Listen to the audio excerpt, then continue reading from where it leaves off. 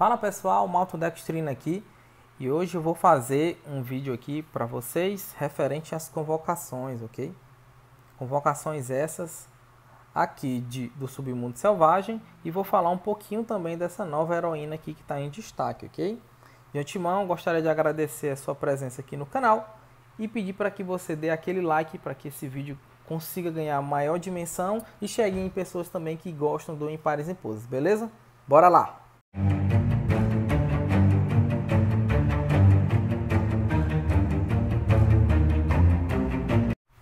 Então vamos lá, vamos começar logo de cara com a análise aqui da nova heroína que foi liberada esse mês, que é a Garjamal, ok? Alguns colegas estão chamando ela de Shiva do Mortal Kombat, realmente a arte dela é bem semelhante, certo? Então vamos lá, ela é da classe dos Bárbaros, uma classe bem interessante, classe essa que sempre aplica o ferimento, ou seja, é um percentual, salvo engano, de 15% quando ela está emblemada completamente, né? De dano do que ela causa no, no inimigo, certo? Com esse ferimento.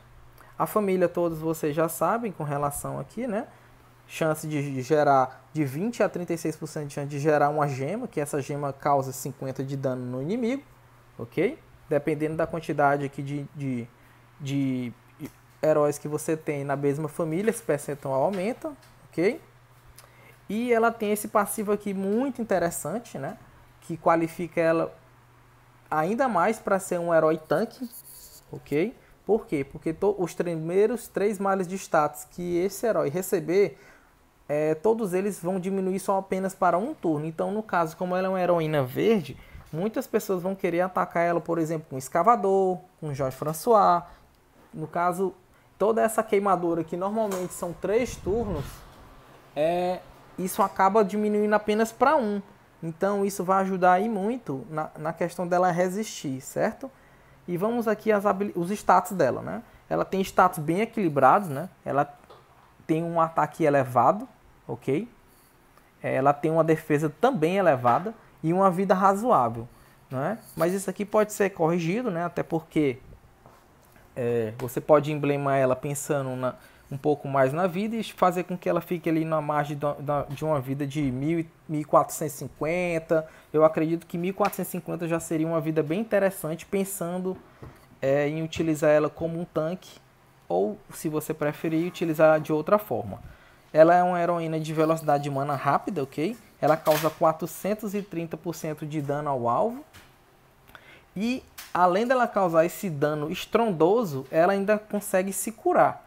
Né? O invocador recupera 200 ou oh, desculpa, 675 pontos de vida em 3 turnos, certo? Então isso equivale a 225 pontos por turno para ela.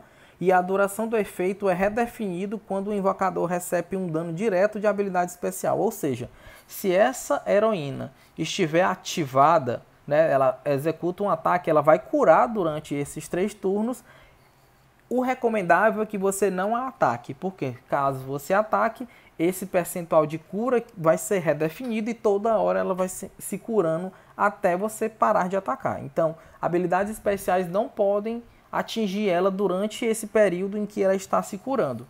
A estratégia que você pode fazer é tentar destruir logo os outros heróis e deixar ela sozinha e ou então esperar passar esse efeito dela de cura e aí você atacar ela com toda a sua força para tentar matar. Essas habilidades dela são muito boas, por isso que a galera está classificando ela como um excelente tanque. Porque quando se tem um tanque dessa magnitude, você quer logo executar ele. Né? No caso, você quer logo matar o tanque, porque é onde normalmente vai mais sofrer pedras. E como ela é uma heroína rápida, ela vai carregar rápido. Então toda hora isso vai ser ativado. Muito chata essa heroína se você tiver ela na defesa. Um excelente tanque mesmo. Gostei muito da, da, de ver um herói desse jeito e pensando também no ataque, ela não vai deixar a desejar, porque caso você tenha o seu herói, que no caso você leve heróis de cura para sua defesa, ela vai se curar sozinha, então ela é meio que independente, certo? É um coringa excelente para o seu time, ok? Eu acredito que essa heroína a gente vai ver muito ela aí nas defesas e nos ataques também, pode esperar. Ela, se você pegar, pure de felicidade, porque vale muito a pena você upar. Certo? Então vamos ver aqui, ó, eu tenho 1200 fichas, ok? É, e vai ser também a minha última tentativa aqui no, no evento de Páscoa. Lembrando que o evento de Páscoa encerra hoje, né? Hoje é o último dia, ó. Eu já resgatei aqui o meu prêmio, certo? Eu já concluí também o evento de Páscoa há um bom tempo. Não escondo de ninguém, eu acredito que eu já falei aqui também que eu tô com muita vontade de pegar o Mestre Lebre, certo? E vamos lá as convocações. Quem sabe pode vir também até um um, um Frost, o Frost, o herói do mês, ele é muito bom, né? Gostei muito da dinâmica do jogo dele, já enfrentei alguns, então é chato, é complicado, não é? Tem análise também no canal, tá? Se vocês quiserem, eu vou deixar aqui o card, lembrando aqui vocês, ok? Vamos lá. Vou começar aqui pela convocação. Deixa eu só dar uma olhadinha bem aqui, ó, percentual aqui, às vezes as pessoas me perguntam, tá aqui, ó, herói em destaque tem 1%, ou seja, tem 1% de tirar os heróis que estão em destaque e 1.3% para os heróis de mês, né? No caso, os que estão em destaque é a Garmajal, como eu já falei, ou Garja, Garjamal, desculpa, a professora Lindenbrook e o Dr. Murel, ok? Esses são os destaques do mês. Então vamos lá, vamos deixar de enrolação, vamos começar a fazer as convocações aqui. Lembrando que essa é a minha última tentativa aqui no, nas convocações de herói épico e as próximas fichas que eu vou juntar, eu vou juntar para o evento de Halloween. Eu não vou fazer no evento de verão. Então vamos lá. Espero que dê certo. Vem Mestre Lebre, vem Mestre Lebre, atenção.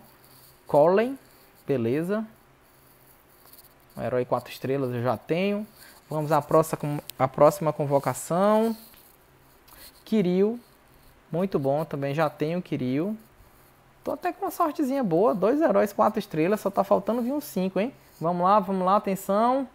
Eita, foi só falar. O Oberon da Massa já chegou aqui. E a última convocação, acho que vou ficar sem meu mestre Lebre, infelizmente. É quem? O Toelho Escudeiro. É isso aí, pessoal. Não deu certo. Quem sabe na próxima Páscoa eu consiga pegar esse mestre Lebre. Ok? Então vamos lá. Vamos aqui as convocações, né? Deixa eu ver aqui, onde é que ela tá? Tá aqui. Eita, um desses três aqui que estão em destaque são muito bons. Se viesse pro meu time seria maravilhoso. Vamos lá. O Gramps eu já tenho, inclusive eu já tenho ele upado, certo? Vamos à próxima. Um pouquinho de sorte, vai lá, vai lá. A Pop eu também já tenho upada, quem pegar vale a pena, viu? Sugiro muito vocês uparem a Pop. Melendor, eu também já tenho tanto ele na versão normal como na versão é, com traje.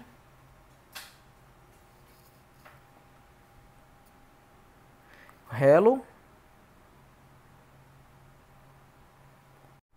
Vamos lá, gente, dando continuidade aqui, tive que dar um suporte aqui pro meu filho. É, próxima convocação. Bora, bora, bora. Vem uma coisa boa. Gramps de novo. Caramba, tá difícil, hein? Nem pra vir pelo menos o frouxo aí do mês. Tô achando que vai ser só herói 3 estrelas mesmo. Eita. De novo, Relo. Mais uma. Vamos lá para a próxima. Baltazar. Mais uma convocação. E quem vem? Nossa, só três estrelas. Que é isso, hein? Vou ver o que, que tem aqui no baú. Ó, ver um tônico. É pra ti, hein? É pra você, o tônico. Vamos lá, vem, apareça. Deixa de conversa. Mais uma. Mais uma convocação. Rapaz, só vi uns heróis três estrelas. Não vai vir um de quatro estrelas daqui, não é possível. Pop. Só tenho mais duas. Morris. E o outro.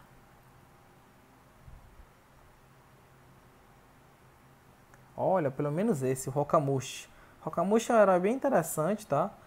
É, ele, tem um, ele é rápido e ele tem um percentual de ataque muito elevado. Porém, ele só acerta 50% dos golpes dele. Então, é, é 8 ou 80. Ele é bem interessante, sim. Eu acho que vale muito a pena você colocar ele, se você não tiver, né, heróis melhores na defesa, ele compõe muito bem a sua defesa, porque ele ataca todo mundo e ele é muito rápido, e ele é rápido, né? Muito rápido, não, ele é rápido. E todos os inimigos, ó, recebem 16 de dano de sangramento por 4 turnos. Apesar de ele ainda estar tá fraco aqui, mas né, ele a, causa um dano alto em todo mundo e ainda deixa todo mundo sangrando. Então, é um herói bem interessante, se você não tiver outra opção de upar, vale muito a pena, certo? Ele é bem semelhante a Sunli, né? A Sunli que é de Valhalla. Essa heroína aqui, ó. Opa, fui atacado aqui. Deixa eu ver se eu acho ela aqui. Ó, essa aqui, ó, ela é bem semelhante, ó, só que no caso, ela só tem 80% de precisão e ela é lenta, né? Ela causa um percentual maior de dano, ok? Ela minha não está nem upada completo, ela causa um percentual maior de dano, mas ela tem 80% de precisão. Já lá no Rokamushi, ele tem 50% de precisão, né? Tá aqui, ó, 50% só de precisão, ou seja, é um cara e coroa, um percentual menor, mas só que ele é rápido, então eu acredito que essa é uma grande vantagem, apesar dele ter só 50%, mas ele acerta todos os inimigos, entenderam? Então, dentre esses cinco ataques, vai que ele acerta três, vai que ele acerta os cinco. Então, é bem interessante, Rokamushi, beleza? Foi bom, não foi tão ruim, eu queria já esse herói já, mas é isso. Não consegui os heróis que eu gostaria no momento inicial. Estou juntando já algumas fichas aqui, né? Como vocês podem ver, eu já tenho 37 de prata e algumas fichas de tropa épica. Já pensando no próximo caminho da bravura, que eu já completei. E vou finalizar o vídeo aqui fazendo as convocações aqui do, do CT. Né? Vem uma Sabina e um Oberon e um entalhador. Então é isso, pessoal. De antemão, gostaria de agradecer a sua presença aqui no canal. Pedir aquele seu like, certo? E que, se possível, marque o sininho para que toda vez que eu postar novos vídeos, você sempre ser notificado. Obrigado pelos novos inscritos e é isso, pessoal. Valeu, um abraço.